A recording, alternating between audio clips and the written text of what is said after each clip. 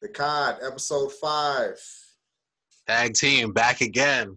Your hosts, Paul and Ryan, sitting down with a very special guest, Neil Magny.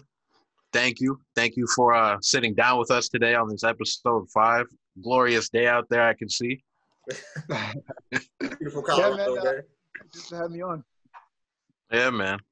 So, what would, what was you up to earlier? Just uh, getting a bike ride in, getting some exercise in.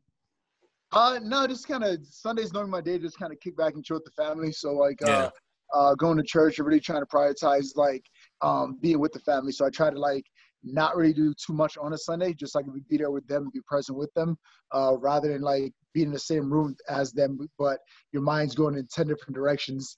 Of course, of course. Especially nowadays, you gotta gotta connect with the family. I mean, un- unrest, COVID, why not? You know, when we're when we have the opportunity to sit at home and really quarantine, if you're not connecting with the family, I, I don't know what I'm doing right now. So Sure. definitely, definitely. But uh, let's let's uh, I guess let's start it off. We always, uh, I guess, like to get our guests to give a little background on themselves. Um, for the people who don't know who Neil Magny is, let them know who you are, how you came up, what's uh, I guess a little rundown on your career. Okay, cool. Yeah, so currently I'm uh I'm signed to the UFC. Uh, it's the Ultimate Fighting Championships. Uh, right now I compete in the welterweight division. That's 170 pounds uh, to 160 pounds. Um, and uh, as far as that, I've been with the UFC going on eight years now. Um, currently I'm ranked top 15 in the world uh, for my division. Um, and uh, just kind of this got been my main focus last couple of years, being uh, part of the UFC and see, see where it takes me around the world and the opportunities it presents me. Cool. And you recently won in uh, UFC 248 and 250, right? Yeah, yeah, I was able to compete twice this year, even with the whole COVID situation. So Nice. I'm definitely fortunate and blessed for those opportunities. And speaking on the uh, COVID situation, I see uh, at least the last fight when we, we had spoke about the last fight on uh, the prior episode with um, Masvidal and Usman, and we had uh, said that they had fought on uh, Fight Island. Is there any opportunities for you to go over to uh, Fight Island and compete? Uh, no, it was just too short of notice. Um, so Yeah. they, like right now with uh with the COVID situation for the UFC, everything is uh pretty much done play by ear kind of thing. So uh, it's real hard to plan things in advance and really get things set in motion. So um, do get a general idea of like, hey, you may be fighting on this date, um, but things can change on a daily basis. So uh, nothing's never really locked in. So just where I was at right now with life and uh, everything else going on right now, I couldn't really just kind of pick up and go to Abu Dhabi and compete there Mhm. um, on, on short notice. I want to make sure I give myself uh, ample time to, to, to probably prepare for, for the opponent and uh, uh, for the opportunity. Make sure I go out there and, and showcase my, my best skill set. So um, it, it was just too short of notice for me to take any kind of fight on Fight Island. And it, it's it's interesting that you said that, Neil, because as much as the people want to see sports and they want to see UFC and they want to see the competition, um, as antsy as the people are, you must be as well, right? Staying in shape, training, like looking at these fights that are happening right now. Like, uh, how do you keep yourself motivated, man? Man, it, it, I'm not gonna lie, it is difficult, and, and there's sometimes you catch yourself just kind of uh, going through the motions of training. It's like, right, you know what, I, I got a good workout in today. I worked hard today, um, but you're not really doing the things to uh, help you be successful in that time. I mean, uh, I can remember at one point during the, the whole COVID situation when things first got locked down, the gyms got shut down. So uh, I thought I was being proactive. I went and got some weights. I set up a squat rack in my garage, Right. just like kind of like stay on top of the training and that kind of thing, and make sure I was still getting the work in. But right. um, it, it's just not the same when you don't have the, the coaches and teammates to, to kind of hold you accountable. I mean, there were times that like I would jump in and go go do a weight workout, but I wouldn't do a warm up. I'll just jump. I'll just literally roll out of bed, go down the garage and start lifting weights. No warm up, no cool down, nothing. Just just going in there. Um, and, and thinking about longevity and uh and and best outcome, like this is not the right way of doing things. So uh, I've been pretty fortunate to get a good group of guys around me to kind of um, help guide and keep me accountable as far as training goes uh, and keep building, even though uh, times around us are uncertain right now. Okay. Well, hey Neil, uh, do us a favor, man. Give us a little background about your, uh, because I know you're a veteran as well as I am. Um, give us a little background about that, man, and what what what actually influenced you and motivated you to go into UFC after your service. Okay, yeah. So I joined the army right out of high school. Uh, I literally graduated on a Saturday. Uh, by the following Tuesday, I was on a plane heading to boot camp. I mean, um, at the time, it was something I, I really felt passionate about. Really thought it was, it, it was uh, uh, something I needed to do. I mean, I'm not one of those people that grew up that that had like uh, ample opportunities given to them. So everything I had, I had to work for. So uh, my senior year of high school, I found myself literally like, man, here it is. It's time to go to college now. How am I gonna make that happen? Am I gonna uh, take this wrestling scholarship to a D3 school and write it out there, or right. um, am I going to give myself more opportunities by joining the military and and um, being able to pay for college that way, serve my country and that kind of thing. So um, luckily, I went the the military route and it opened up a lot of doors for me. Um, within the first couple months of being in the military, I was able to uh, start training hand-to-hand combat and that kind of thing, and that really just kind of pushed my love for martial arts and and uh, uh, really motivated me to just, just kind of stick to it. Um, and once I eventually got out of the service, I just kind of followed through with that as well. And you came up in Dolton, correct? Um, yes, I lived in Dolton for for, for high school, and then uh, I went to Thorn High, Thornwood High School, which is in uh, South Holland, Illinois. Um, and uh, Cubs and Sox, just, Neil. Cubs and Sox. What was that? Cubs and Sox. um, definitely gotta go with the Sox. I mean, all right, all right, all right, I was waiting. Yep. All right, give it to him. Give it to I mean, him. It's funny because like when you live in Chicago, around Chicago, everyone's always like, "Yeah, I'm ride or die Sox fan, ride or die Sox fan." As soon as the Cubs finally win the World Series uh, or whatever recently, it, it's funny to see the shift. I mean, it, it's rare you see a, a, Sox hat now. Everyone's wearing a, a Cubs hat, a Cubs jersey, and that kind of thing. So it is interesting to see that shift. Right. Um, now I know I know you uh you studied uh, Brazilian Jiu Jitsu. When did you uh, when did you first pick that up? And I guess what was the uh, path from um, I guess after high school to to the UFC to signing into the UFC? Yeah, so in 2005, going from my uh, junior year to my senior year of high school, that's when I first started uh, to really get get a taste for, for, for mixed martial arts. I, I uh, it was literally a summertime. We had we had a setup where we were able to go to a World's Gym. It was like just kind of a, a local gym that our football coach got us hooked up in to, kind of lift weights and stay in shape during the summer. Um, but at the time, there was a guy, Miguel Torres, who um, rented a studio space in back of the gym, and he was actually running his martial arts program out of that. So he had uh, jiu-jitsu, kickboxing, and, and, a bunch of other classes that he offered. Um, and I and I literally just stumbled in one day. I was like, man, I want to see what this thing's about. So uh, me and a couple of my high school buddies just kind of dropped in for a class or whatever, threw on some gloves, no mouth guards, no protective equipment and nothing, just kind of kind of messing around, just trying to uh, see what this thing was about. And I literally just fell in love with it at that point right there. That man, this is this thing is is fun. I, I actually enjoy this. I mean, um, in high school, I played three different sports. I did football, I did wrestling, I did track. Um, you know, I enjoyed all of them. I wasn't necessarily passionate about any of them. It was just more so like the thing you did to stay in shape and uh, uh, get the girls' attention. It was nothing was actually like truly passionate about. And then when, when I started doing martial arts, that's when I actually found that passion. I was like, man, I actually enjoy this. I want to uh, pursue this more and do the best I could. Now, did you did you uh, compete in college? How how did you uh, I guess how did you um, make that first step into uh, into the um, professional sense, into the professional league from amateur okay. to uh, UFC? Yeah, so fresh out, like I said earlier, fresh out of high school, I uh, pretty much jumped on a plane, went went to basic training. Uh, as soon as I came back from basic training, I, I, I deployed in. Uh, so I graduated high school 2006. I deployed 2007. Uh, came back from overseas 2008.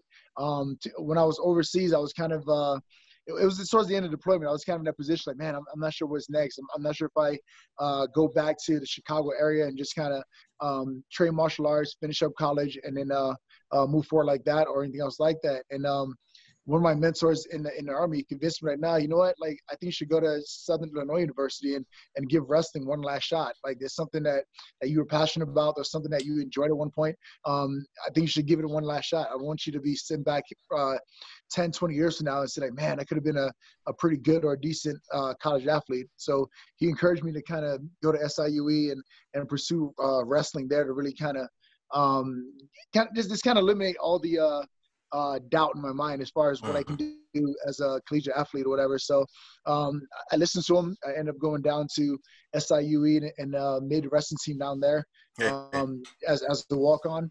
Um, but it, it, just wasn't. By the time I got to college, by the time I got to the wrestling team there, uh, the passion just wasn't there. I was I was actually in love with martial arts. It was something I, I wanted to do, I wanted to pursue.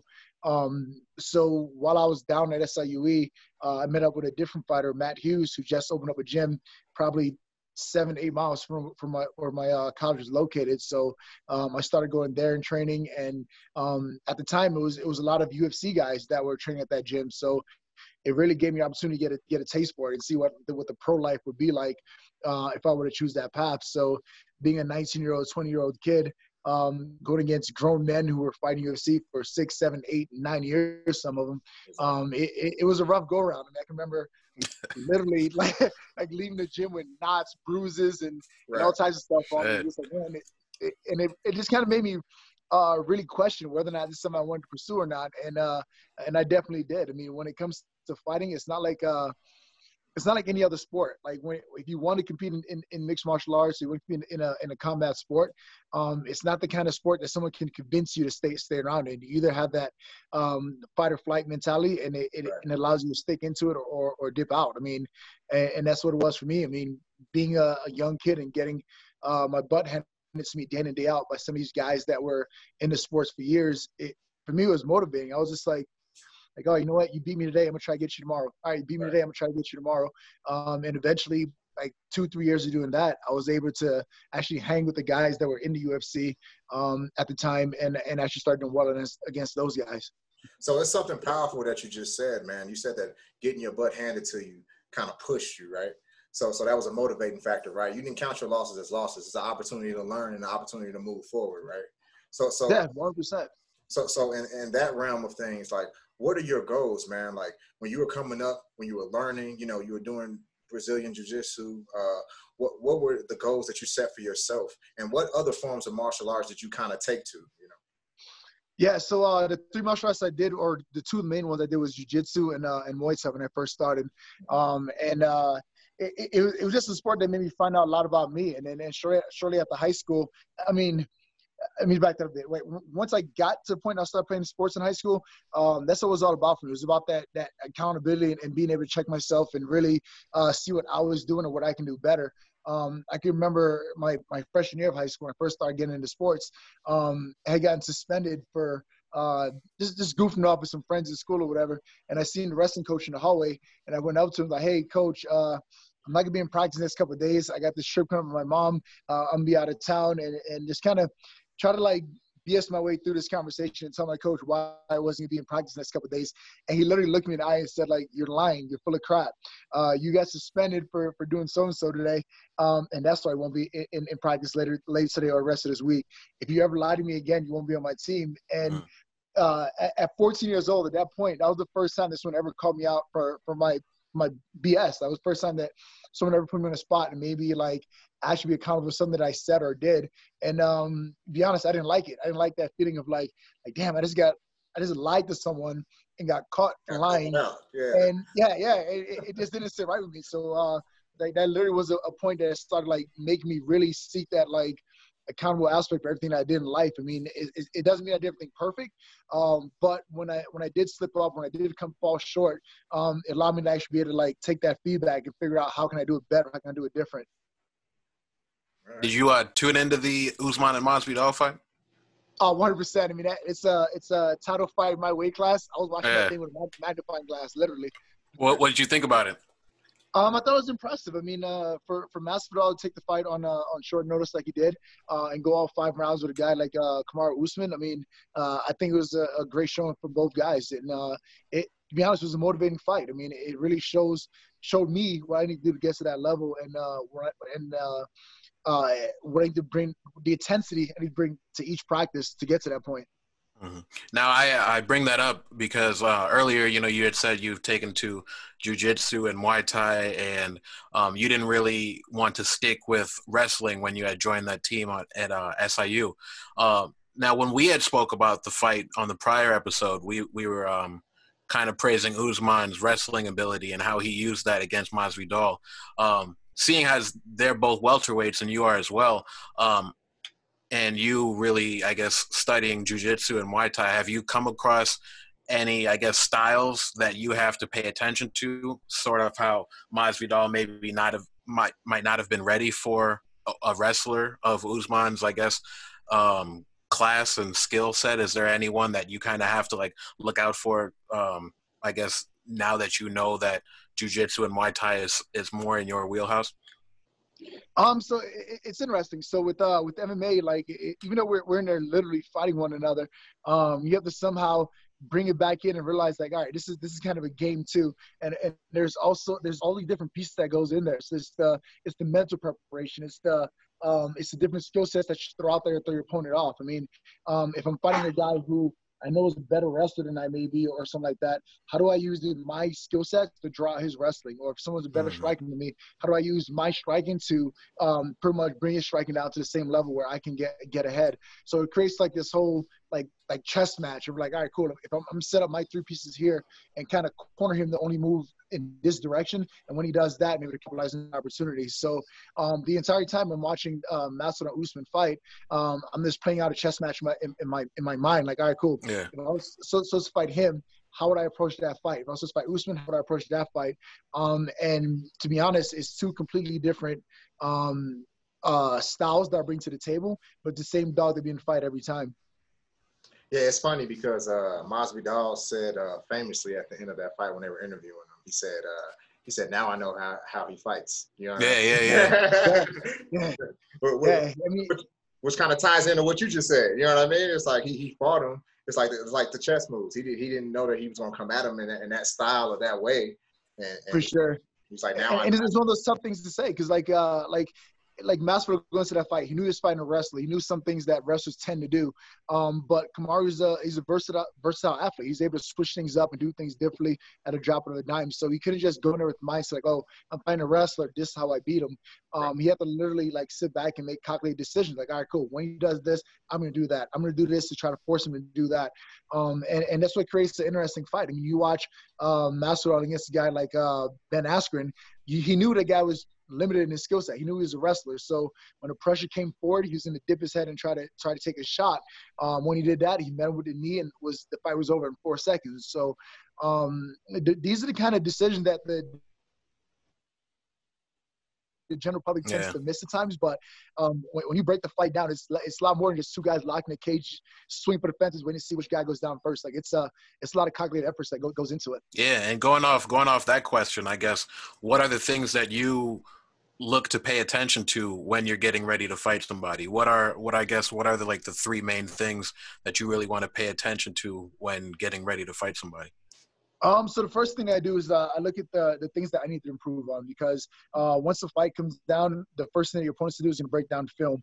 Um, so I want to make sure that when that when that next fight presents itself, I'm not going in there as the same fighter I was five, six, seven fights ago. I want to make sure I'm bringing something new to the table every time, and I'm uh, and I'm growing as a fighter. So um, whatever that guy was studying in, in, on tape or or whatever that he thought might be a a, a hole or um, a weakness that he can exploit in the fight. I want to make sure that that weakness isn't there. Um, so that's the first, that's the biggest piece. Like my last fight, I fought on, on a Saturday. Uh, literally by that Monday, I was back in the gym, and it's not because I was just like like bored or, or need to to to occupy my time. It was more so like, all right, cool. That fight was close. I there's some things I need to work on. Uh, let me get back to work on work and work on those things so that when that next fight obviously comes through, I'm not backtracking. I'm not going back. It's like, all right, cool. Let's let's bring it back to eight weeks ago, and let's focus on these before we move forward. I want to make sure that um, if I fight on Saturday, I'm already making those necessary adjustments to get ready for the next fight because I win or lose, I can't change the outcome of that fight, um, but I can't control how I go into the next one. So that's that's the first thing I do. Um, the second thing that I started doing now is just uh, really starting to trust the coaches. I mean, um, at this point, I mean, I had 25 fights the UFC banner over the last eight years. I mean, um, that's a crazy pace for, for anyone. But um, with having that many fights and fighting that often, you tend to you, you kind of develop this attitude of, of uh, complacency where it's like, I know what I need every single time, and uh, um, you you kind of make rush decisions at times, so to speak. So it's like I'm ready to go right now. Give me my next opponent, and I just I'm just jumping in the fight, um, ready to move. So right now it's more about like trusting the people around me and making a uh, that that informed decision together. So if a fight offer comes through and it's four weeks away, two weeks away, where it may be, I'm not just jumping in there and say, oh yeah, let's go let's go ahead and do it. I'm making sure that I'm on the same page with the people around me, and they're like, hey, you know what? two weeks, I think you're good to go. I've seen a lot of good things out of you in the gym, uh, and I think you're ready to take that fight. Uh, 100% take that fight. So now I can go into that fight with 100% confidence that I'm going to be successful and I'm going to going to win that fight. Um, and and then finally, the third thing is uh, is being uh, uh int- intentional with my time and with my training. Um, so uh, a lot of times with, with fighting MMA, um, it, you have to make weight. So typically guys are walking around 15, 20 pounds above their fight weight. So a lot of their training camp is spent about uh, spent dieting and making weight. Um, and that a lot of times can uh, kind of steal the focus of the fight. You spend eight weeks, 12 weeks, however long it may be, um, and your main focus like, oh, I have to get back to my fight weight. I, get, get, I have to get down to my fight. I have to lose two pounds a week for the next eight weeks in order to, in order to make weight. Um, yeah. So you're just worried about working hard. You're, you're just worried about going to the gym every single day just to, to see what that, that scale says at the end of the day.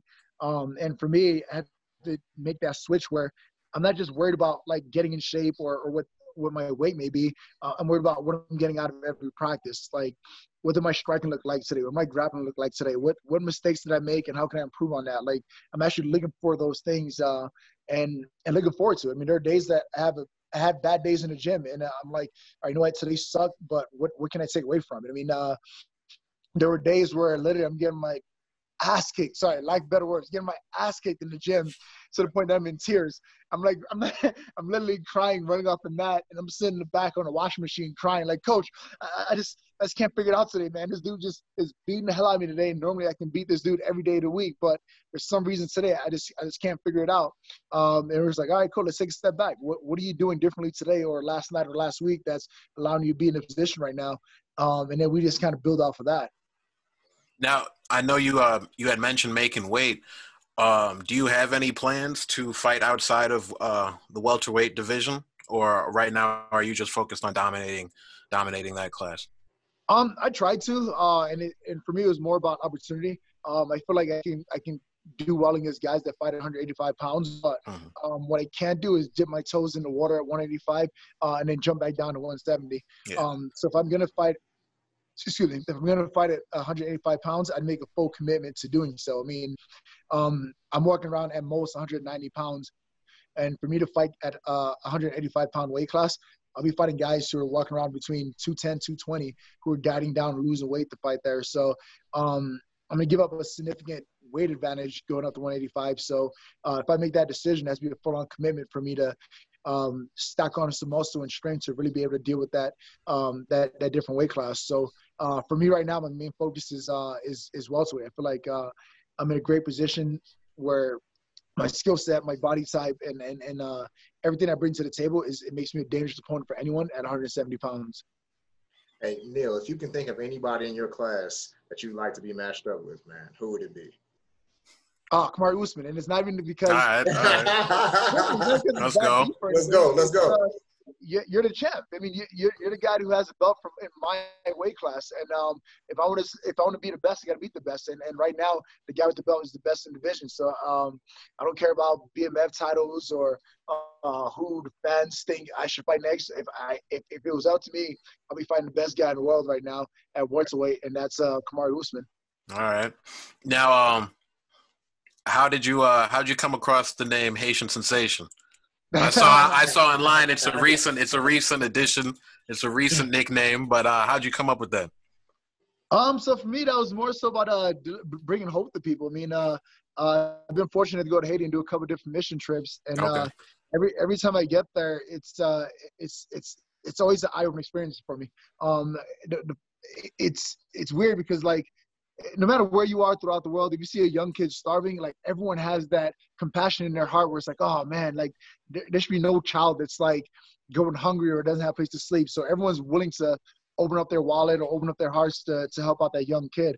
Um, but what I noticed uh, my last mission trip to Haiti that I went on was that that the adolescent group, those those 14 year olds to young adults, like pretty so like about 14 to 20 years old or so.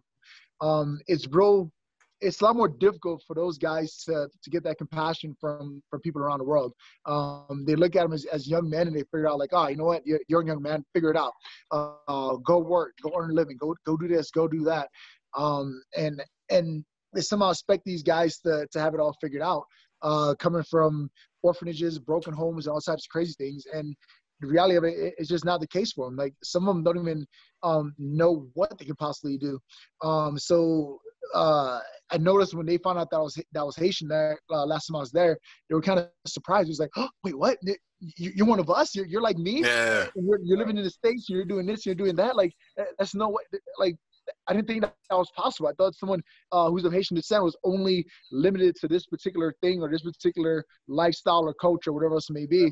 Um, so me being on television, me being in the U, uh, in the U.S., me having all these opportunities around the world right now, I want to use it to motivate those kids in Haiti. They're like, hey man, like I get it. You may be living in an orphanage. Um, from the time you're born to the time you're an adult. But uh, don't sell yourself short. I mean, you can do whatever you, you want to do, whether it's be a dentist, engineer, a doctor, whatever you want to do, you can do it. Uh, don't ever uh, sell yourself short. So I want to make sure they see that that Haitian representation um, everywhere everywhere possible on TV, in a newspaper, in the press, where they can have that hope and belief in themselves that they can do something. Yeah. It's, it's unique that you said that, man, because Bill Lester kind of brought that up as well. It's like a lot of these communities uh, and a lot of and a lot of pe- places that people don't really realize. You know, people of color don't feel like they have that opportunity. You know, they don't feel like they can step into that that limelight or they can step into that arena of competing at the highest levels. You know, and I think it's important, especially just like you said. I mean, just going there and seeing the kids and them them realizing that you're Haitian as well. You know, that they don't. That, I mean, that probably rocked their world. You probably changed some worlds j- just talking to them and being there with them and, and, them seeing you on TV and seeing you seeing yeah. you. So yeah, I mean, it goes a long way. I mean, like I said, growing up, it wasn't easy for me at all. I mean, it was it was hard for me to get my own mother to believe in me at times. I mean, wow. uh, I really had uh, like conversation with my mom were just kind of like, I don't know, you'll just be this, but your brother will be this, and your brother will be able to take care of you, and that kind of thing. So it was almost like this uh, this lack of self worth or self value that, that I had for a long time. So um, as a teenager in, in middle school and that kind of thing, it was really never um, a reason for me to try certain things. I was kind of like like yeah whatever. Like uh, if my mom says I'm not gonna amount to anything, why why even bother trying? Why why not just uh, stay where I'm at and, and, accept this particular lifestyle. Like, let me just just be right here and, and have that be, be the end of it. But um, that that my tra- me going into high school, there was like a lot of things that that that shifted for me that helped me become the guy I'm, now. I mean, uh, it, it's funny because my mom kept every report card from the time I was in first grade all the way until I, I got got out of high school. And if you watch, you look at my report cards from first eighth grade, it, it wasn't anything nice. I mean, it was literally. It was only the teacher was trying to deliver me a message. My report cards literally said, F you, F you, F you, F you. and unsatisfactory oh, all the way man. down. That's what my report card said. I mean, uh, it even got to the point I even had to repeat the seventh grade because um, the grades just weren't up to par. Um, and a lot of that had to do with uh, with self value and self worth. I was always told like, this is who you are. This is where you come from. These are your options. I mean, uh, my father passed away at six years old. My mom was a single mother living in New York City at the time. Um, so a lot of people like throw statistics out there. It's like, oh, well, uh, if you're coming from a broken home, you come from a home without a father, um, this is the likely outcome for you uh, based off statistics that kind of thing. So uh, to a certain extent, I, I, I started accepting that. I was like, all right, whatever. Like, I don't right. care about school. I just want to uh, go in day in and day out and just uh, just kind of live. Um, and when I got about 14 years years old or so, that's when my life literally started changing. I mean, I remember, um, and it was another accountability moment. I remember uh, one summer worked with my uncle, and um, he was a real estate investor, so he had me just kind of just just kind of shadowing along, helping out where I could, and that kind of thing. Um, and I remember at one point we were cutting drywall to, to hang or whatever. It was like, hey, measure this drywall for me, tell me how long it is. Um, and I grabbed the measuring tape, I, I, pulled it out, and I started to um, to try to measure it and I couldn't tell him what the measurement was. I couldn't break down one sixteenth of an inch, one eighth of an inch, a quarter of an inch. I, I didn't know how to read that measurement on ruler at 14 years old. And uh, it was another opportunity when my uncle was like, "Where's that measurement?" And I was just like, uh, embarrassed, head hang low, like I, I, don't know, I don't, I don't know what it says. It's it's 36 and uh, five of these little markers. Um, and he was just like, "Wait, you don't know how to read a ruler?" And I was like, "No, I, I never paid attention to that." Uh, and rather than him to like kind of condemning me or, or, or bashing me or throwing me down. He's like, here, let me show you how to read this real quick. Um, and that really, that was, that was, that was a moment of accountability for me. That was a moment where I realized like, all right, you know what? Uh, I kind of do need to take education a little more serious and uh, apply myself a bit more. Um, and it, it, that was one wake up call for me. And then that following year, I was like, all right, I'm, I'm going to start doing sports now. And I had that run with my wrestling coach, and, and that was another like accountable moment for me. And by the time I got to my sophomore year of high school, I was competing with other kids to to make honor roll. I was like, all right, you know what? So to make honor roll, I can make honor roll too. So um, I literally went from a point where it's like low self value, low self esteem, all this other stuff are just like didn't really think I would mount anything. So probably, you know what, I can be anything that I want. I can, I can compete against the best of them in the world and uh, and be whatever I want to be. Uh, and I just kept just just kept applying myself to the point that I got to where I'm at now. Man, Yeah. I appreciate that, man. Seriously, seriously. Hey, no, it's real because, uh, like Paul was saying earlier, when we spoke to uh, when we spoke to Bill, he had let us know that you know stick and ball sports it's it's something that you can see the trajectory for. Um, you know, you do well in middle school, you do well in high school, you can get picked up by a good college. If you're in college, you can get picked up by the league. Um, so that was definitely one of my motivations to ask you. You know, how did you um, get started with UFC? So I think you know you just speaking about this is going to give those kids hope. Um, what is there? Is there any um, charity that we can promote on our end um, that you've worked with uh, on your mission trips to Haiti? Yes, so uh, one of the, the main uh, company I partner with is uh, called Mission 111, um, Okay. and they have uh, a group that works in Haiti and the Philippines. Um, but kind of like you said, I mean, even build my build my way up to uh, to UFC where I'm at now. Um, I never had anyone give me anything that I wanted. I mean, um, when it came to getting to the UFC, um, I, I made up my mind like, hey, you know what? I can I can hang with the best from now in the gym. I'm ready to test myself uh, against the the other fighters in the world um, and um, nothing was going to stop me from doing that. I mean, um, I didn't have a manager that was making calls to me. I didn't have um, friends that were coaches that making calls to me. I, I kind of took that all on my own to do. Um, so I, I would go to websites and try to figure out where the upcoming fights were, and then I would email every single promoter with an upcoming fight and ask them like, "Hey, um, is there any opportunity I can get on your fight card?" Um, and they're like, "Oh man, we're we're just full. It's not in the budget. Um, there's just not enough uh, money there, or whatever else may be to, to add you on there." Um, so I was like, "All right, you know what? Just just keep me in mind. Like if, if someone falls out or if someone opens up, I'm there." And I I kind of did that from uh, Southern California all the way up to Wisconsin to to uh, uh, Pennsylvania. Any any single any promotion that was putting on a fight, I was emailing them asking to get on there. Um, and and that's how I started to get fights as a professional. Um, once I got a couple fights under my belt, I was like, all right, cool. You know what? It's time to make a run towards the UFC now. Um, and for me at the time, um, the easiest way, or not the easiest way, but uh, the, one of the biggest doors to get to UFC was through the Ultimate Fighter TV show. Um, so I was like, you know what? I have to do whatever it takes to get out to Vegas and try for the TV show. Um, so the first year uh, the trials came out, I, I was able to um, just fly out there, try out, and I didn't make it past the first cut. So I, I was immediately cut from the uh, from the tryouts. So I was like, all right, well that sucks. Let me get back to the drum board. Let me get back to training. Let me get back to fighting. Let me get back to competing. Um, and then uh, another opportunity came up where they were looking for for guys in my weight class to compete. So I was like, all right, here it is. I'm going back out to Vegas again. Um, so I, I I got myself out there, went out to Vegas, uh, went out to the show. Uh, this time I made it to this, made it past the first cut, past the second cut, and it got to the point I was doing an interview with uh, UFC president Dana White and uh, UFC matchmakers at that point.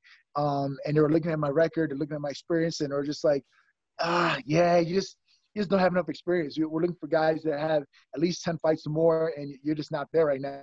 So I got cut again from the Ultimate Fighter, uh, and it's like, damn, dude, like I'm never gonna get my, my, my chance to make the Ultimate Fighter right now. I mean, I, I tried out twice, I've been cut both times, and I'm not sure when next time they're gonna they're gonna make a, a, a casting call for it. But sure enough, it was another opportunity to go out there and try it again. Uh, so Hey. like, all right, here we go. We're going back to Vegas. Yeah. um, so I went out to Vegas. I tried out again, um, and at this time they were they were doing the Ultimate Fighter live season, um, and the casting call was for both uh, lightweights and welterweights. Um, and at the end of that, they decided to cut all the welterweights and only do lightweights. So I'm just like, damn, bro, like three times I tried to the show and I got cut all three times. Like, what is it going to take to get to the UFC at this point?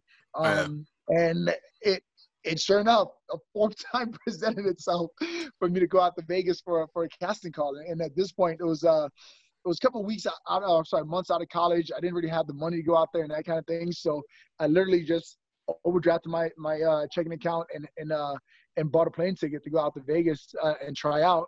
Um, I didn't have enough money to get a hotel or anything, so um, I booked my flight where I was gonna land in Vegas at night uh, and then stay at the airport overnight and then take a shuttle over to the tryouts for the next day and try out then. So I literally did just that. I, I, uh, I booked myself the a ticket by overdraft my account.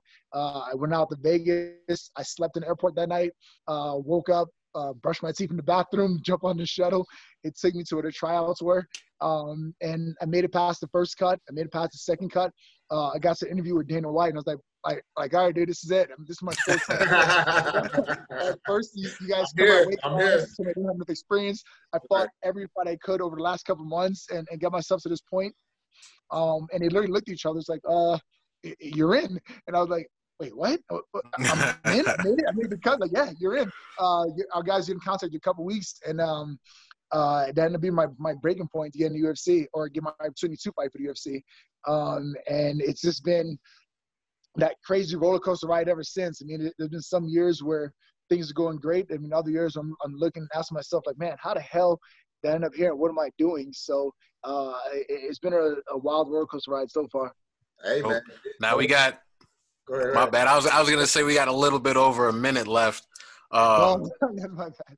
Yeah, man. No, I, am glad. I'm glad you got all that in. I was like, I don't want it to cut off, and I really wanted to hear it, man. Like yeah, you inspiring me. Yeah, I'm like motivation, uh, consistency, hard work. Like I mean, Neil Magny. All that, all that. But I do want to ask. I do want to ask on a very, you know, a lighter note. Are you going to be included in UFC four? Uh, so they uh, yeah. they introduced the game. And yeah, I saw I saw online when I when I looked when I looked you up, I saw I saw they had uh, Neil versus Bruce Lee in UFC three. I was like, they crazy, They put you at the best. They put you at the best. Oh man. Yeah, I mean, and that's the cool thing, man. Like it just uh, like I don't know. Like I mean, even with going to Haitian Sensation nickname and wanting to motivate those kids in Haiti and throughout the world. I mean, it's just one of those things like you can't pick the cards you were, you were dealt, but the way you play them can have a huge difference. And um, exactly. that's what I'm doing day in and day out. So uh, um, it, it's cool to have my shortcomings and my failures and where everyone can see them and realize that like, hey, um, it's not all butterflies and rainbows. There's going to be some some down moments, but at the end of the day, consistency is going to pay off. Hell yeah! Well, shout out Neil Magny. Hey, thank Look you, for him in UFC four, and I guess hopefully, um, what do you got coming next? Just real quick, real quick. Uh, I'm trying to get back in there as soon as possible. So uh, I'm working on getting getting back there and fighting uh, as, as early as late August, early September. So um, if all the cards line up, I'll be fighting pretty soon here.